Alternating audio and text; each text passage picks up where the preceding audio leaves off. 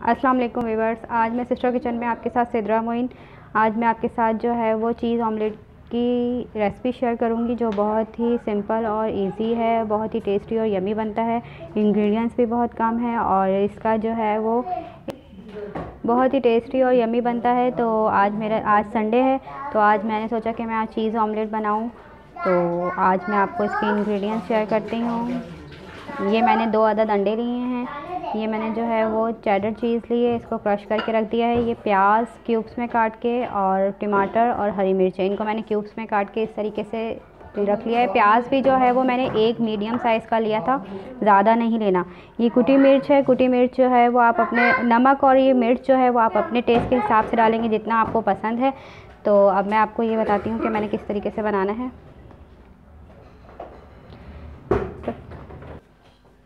तो ये मैंने दो अदद अंडे लिए हैं, इनको जो है वो मैं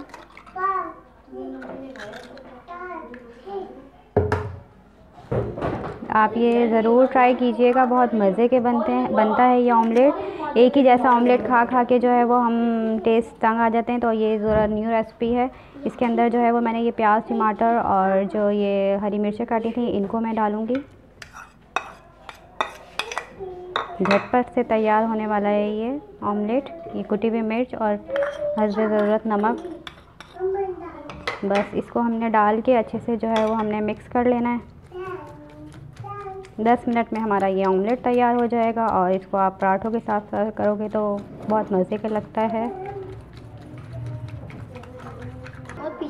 तो अब ये देखें ये मैंने अच्छे से मिक्स कर लिया है इसमें। अब मैं इसको जो है वो पैन में जो है वो उसको पकाऊँगी। है वो मैं। इसके अंदर जो है वो हम थोड़ा सा ऑयल ऐड करेंगे। और ऑयल को जो है वो पूरे पैन में अच्छे से जो है वो हमने फैला देना है इस तरीके से। अब मैं इसके अंदर जो है ये ऑमलेट डालूँगी। ऑमलेट जो है वो मैं थोड़ा अभी डालूँगी और थोड़ा सा जो है वो मैं जब चीज़ इसके अंदर रख दूँगी तो फिर इसके बाद डालूँगी। ये हमने बिल्कुल लो फ्लेम पे पकाना है इसको ताकि ये अच्छे से जो है वो पक जाए।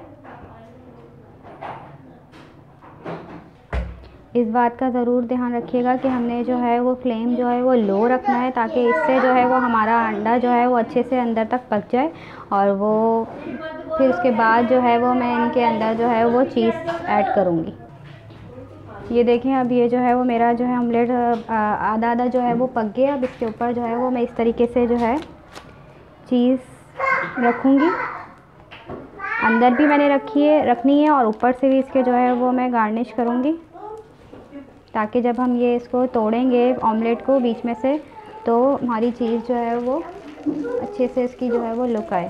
अब इस तरीके से मैं इसके ऊपर अंडे को जो है वो मैं फैला दूँगी। इस ऑमलेट को जो है वो आपने इस तरीके से फैला देना है और इसको लो फ्लेम पे ही रखिएगा।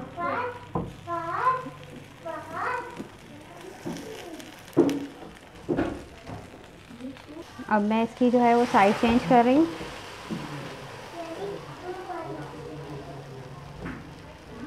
ये अंदर से तो हमारा ऑमलेट सारा पक गया है, बस इसको अब हमने हल्का सा जो है वो कलर चेंज इसका थोड़ा सा करना है गोल्डन गोल्डन और ऊपर से जो है वो मैं इसके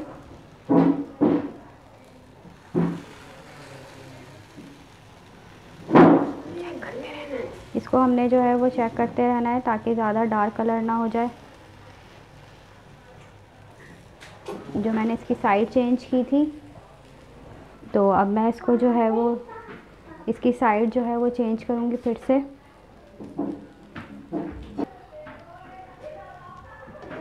ये इसकी साइड इस तरीके से चेंज करके।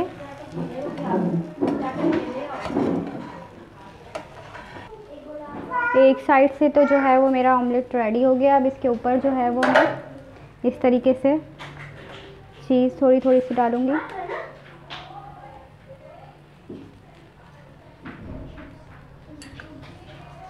चीज़ हमने इस तरीके से ऊपर से इसके फैला देनी है।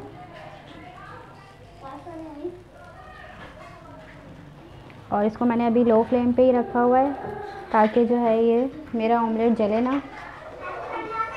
और इसको मैं एक मिनट के लिए जो है वो मैं अब ढक दूँगी। वैसे जो है वो एक मिनट के लिए जो है वो बस सिर्फ़ ढक दूँगी कि ताकि चीज़ मेरी जो है वो मेल्ट हो जाए। जो है मेरा रेडी हो गया है, ये देखें। मज़ेदार सा यमी सा ऑमलेट रेडी हो गया। मैं इसे डिश आउट कर रही हूँ। चीज़ी ऑमलेट मेरा रेडी हो गया है और बहुत ही मज़ेदार सा। और इसको आप ज़रूर ट्राई कीजिएगा मेरी रेसिपी को। संडे को स्पेशल आप बनाइएगा, ये अपने हस्बैंड को बना के खिलाइएगा, बच्चों को बना के खिलाइएगा। और आपको अगर ये मेरी रेसिपी सब पसंद आए तो मुझे कमेंट्स कीजिएगा। मेरे चैनल को अगर सब्सक्राइब नहीं किया आपने तो मेरे चैनल को सब्सक्राइब कर दें। बेल आइकन को प्रेस कर दें ताकि हर आने वाली अपडेट आपको मेरी मिलती रहे। दुआओं में याद रखिएगा। ओके अल्लाह हाफ़िज़।